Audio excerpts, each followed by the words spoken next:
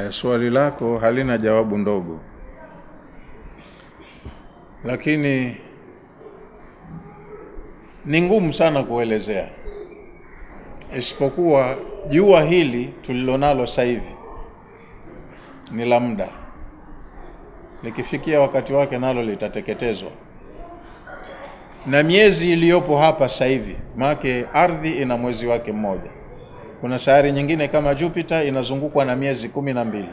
Hivi vyote ni vya muda. Kuna wakati Allah amesema hivi, ana destroy vyote, vinakufa, analeta vingine vya kudumu. Sasa hivyo hatu, hatuwezi kupata wasifu wake sasa hivi, lakini kama kuna maisha usiku na mchana utakuwepo. Umenifahamu eh? Kwa hiyo kama jua litakuwa limeumbwa jengine au lipo limewekwa iliko hiyo pepo, Allah mwenyewe ndo anajua, lakini maisha yatakuwa kama kawaida, kama tunavyoambiwa, kuna mito, miti, matunda yanazaliwa na hayana musimu siku zote. Kwa hiyo hivi vitu tufanye mema, Allah akatuonyeshe huko, vingine kwa sasa havisimliki. Eh, wasamawatu naam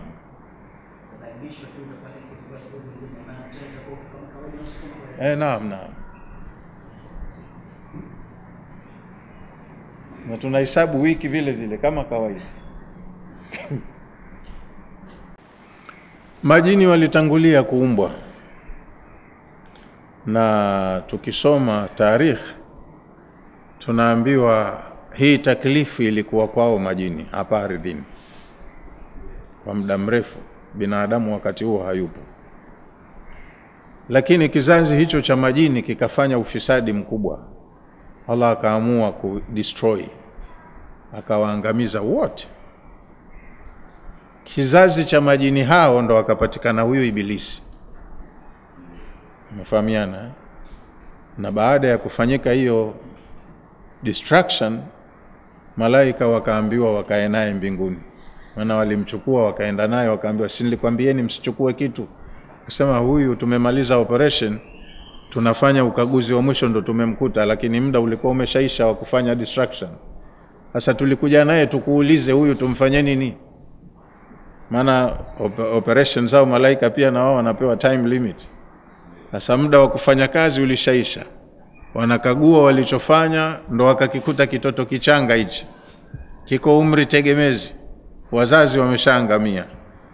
Sasa wakaenda naye kuuliza wafanyeje, ndo wakaambiwa basi kaeni naye, ndo akakaa mbinguni Ibilisi. Lakini alikuwa analazimika akop mazingira. Kule, viumbe wanachapa ibada tu, malaika hawana dasturi ya kula wala kunywa. Kwa hiyo yeye Allah sijui kamuwekaje kaishije, lakini alikaa kwa muda mrefu na akafanya ibada sana, na alikuwa anaitwa majina mazuri kilichofichikana ndani ya moyo wa Ibilisi hata malaika walikuwa hawakijui. Hizo habari za kibri chake, kujiona ye mwenyewe, alikuwa anajiona kama Allah ni mfalme, basi mimi ndo nitakuwa chini yake. Wale malaika wote alikuwa anawaona cha mtoto tu, yeye ndo mtukufu. Sasa alipotaka Allah kuvidhihirisha vilivyomo kwenye moyo wa kiumbe huyu, ndo alipowaambia malaika, na Ibilisi alikuwepo kwenye audience. Malaika sio Ibilisi, sio malaika lakini alikuwepo kwenye audience na Allah alipozungumza kwenye public, agizo lilikuwa na yeye linamhusu. Kwa hiyo nitaumba kiumbe kutokana na udongo, nikimkamilisha mpeni heshima, na yeye ilikuwa inamhusu. Lakini hapo ndo vilipofichuka vile vilivyokuwa vimefichikana kwenye nafsi yake.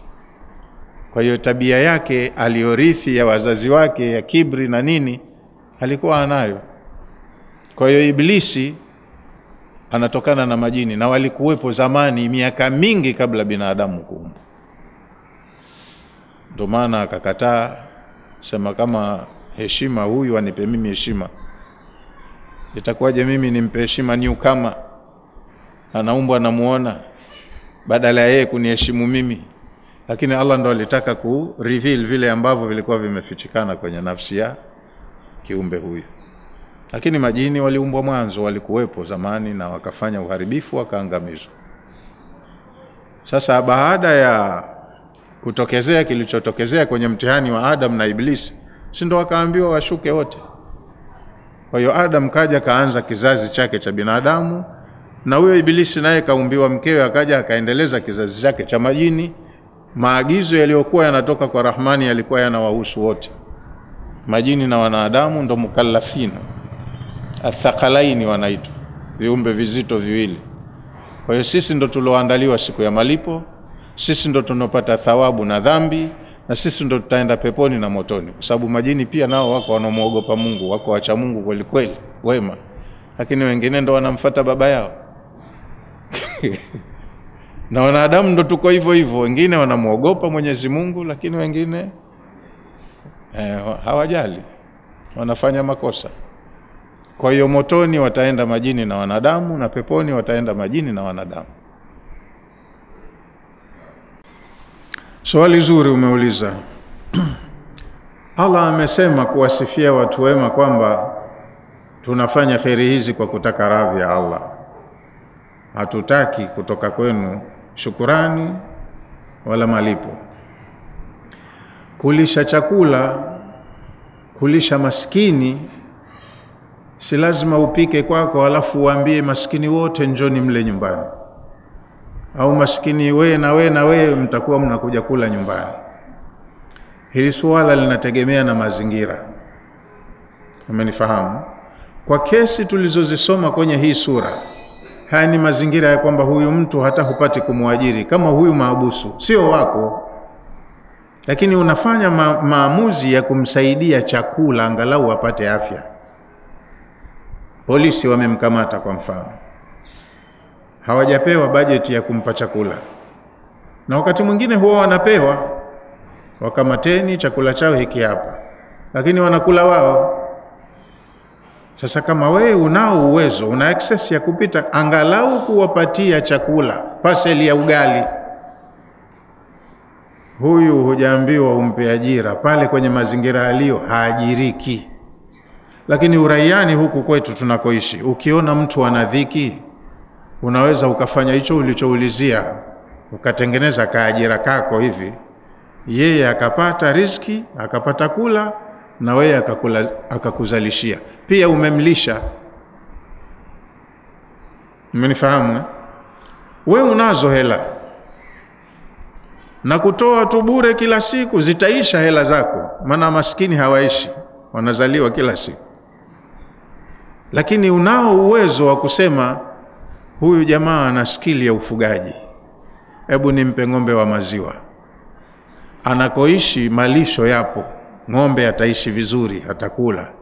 Sasa wewe unanunua kwa hela yako ng'ombe, unampa na unajua anao uwezo wa kumtunza, anamtunza yule ng'ombe, atatoa maziwa, yanauzwa maziwa, yeye anapata mshahara na wewe unapata una, una, unaongeza kwenye mtaji wako. Ndio, zipo hela nyingi. Kuna watu jobless hawana, lakini wanao uwezo wa kushona. Tafuta eneo, weka vyarahani na nyenzo zote za kushonea, alafu wale jamaa waambie fanyeni kazi. Watu watakuja na nguo zao pale, au wewe mwenyewe unaweka vitambaa mbalimbali vya suti, kanzu, shati, suruali. Hawa wakishona wanapata hela unawalipa kazi yao, alafu na wewe utapata chochote. Hii pia umesaidia kulisha maskini, kwa sababu huyu mtu pale ulipomweka akawa anazalisha, umemsaidia chakula. Si kama kukaa akawa hana kazi, kazi yake kuomba kila siku. Umenifahamu? Kwa hiyo kuna mwingine unamsaidia, huwezi kunufaika naye lakini mwingine unamsaidia huku unanufaika naye, yeye ananufaika na wewe unanufaika, sio kosa. Umenifahamu vizuri, inshallah. Kwa hiyo ukiweza kumtuma mtu kwenye mifugo, mtume, lakini umwajiri, usimdhulumu, mlipe vizuri, na wewe unapata chochote na yeye anapata chochote, mambo yanaenda kule kusaidia kuondoa tatizo lake la kutokuwa na ajira, wewe umemlisha, umemsaidia chakula yeye na watoto wake. Wallahu aalam. Naam, mazingira huwa yanabadilika. Wakati mwingine kuna watu wako nje ya nchi, Arabuni, Ulaya, kule wanaishi vizuri, wanakusanya zaka za watu wenye uwezo wa kutoa zaka, na kwa mazingira ya kule wanakoishi wao, wale wanaostahiki kupewa hata wanakuwa adimu, manake wao wenyewe ndo wametoa.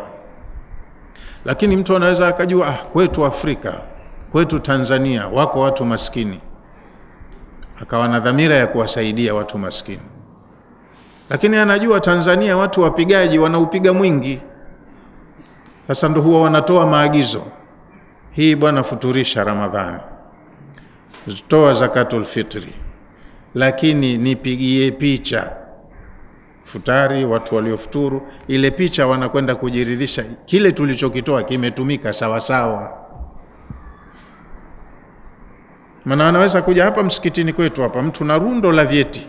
Mimi mwenyewe hilo jambo nishalishuhudia kwa macho yangu. Kwenye msikiti mmoja, siutaji. Kaja mtu na vyeti na barua kutoka ofisi ya Mufti, anasema jamani, mimi ninahangaika na mtoto wangu huyu ana maradhi makubwa hapa, mnazi mmoja wameshindwa, anatakiwa ende Muhimbili, zinatakiwa laki tatu.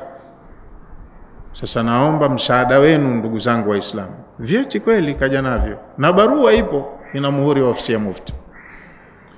Watu pale, msikiti ulikuwa umejaa, una watu wengi wameswali ndani na nje wakachangachanga wakapata pesa za kutosha, akakabidhiwa na imamu. Yule bwana baada ya kukabidhiwa tu kayayuka, watu hata hawakumjua kaendea wapi. Keshaondoka, katokea mtu yeye aliswali nje. Hata hiyo kupembua watu mpaka akaingia ndani aonane na imamu, ikawa shughuli. Anafika pale, yule bwana yuko wapi? Yuko ah, keshaondoka, tushampa chake, shaondoka yule bwana muongo, hana mtoto yule, mpaka leo hajaoa, alafu yule mlevi. Hii ndogia yake anayoishia mjini. Ilikuwa msimpe. Sasa kwa nini usitwambie mapema? Mi nimechelewa, nimeswali nje, lakini yule namjua, ndo tapeli, ana kazi yake kupita misikitini. Yule imamu baada ya wiki anasema alikutana naye mjini, alimaki sura yake. Alipokutana naye mjini akamwambia, bwana, hali yako salama? Wakasalimiana vizuri naomba nikamwone yule mtoto. Mtoto e, yule mtoto wako uliokuja kumwombea wiki iliyopita msaada msikitini, sema anataka kupelekwa. Ah, akakumbuka. Ah, yule hajambo, lakini tumeafikiana na familia tusimpeleke tena bara. umetokezea watu wamsema watamtibu hapa hapa. Ah, nimesema nataka nikamuone. Jamaa akakimbia mbio. Sasa hivi vitu vingine vinaweza kuwa ni jaiz kufanywa, ijapokuwa Allah anapenda ukifanya wema uufiche. Hapa anahutubiwa yule mfanyaji kwamba akifanya ria, suma, ujuba, amali yake inabatilika. Lakini wengine huwa hawafanyi kwa lengo hilo, wanapenda wajiridhishe, na mambo mengine yanaenda kiofisi. Huko kulikotolewa authority kwamba wapeni pesa hizi, wao wanataka wajiridhishe, zimefika, wamepewa walengwa. Ndio maana yanafanyika mambo kama hayo. Lakini wewe mwenyewe tu hapo ukisema unanipamia una una sadaka alafu na TV jamaa achukue picha, hapa utakuwa unayakoroga. Wewe ukiamua kunipamie, nipe kwa mkono wa kulia, wa kushoto usijue. Lakini hawa wengine wanafanya hivyo kwa sababu maalum ambazo zinakubalika. Wallahu aalam.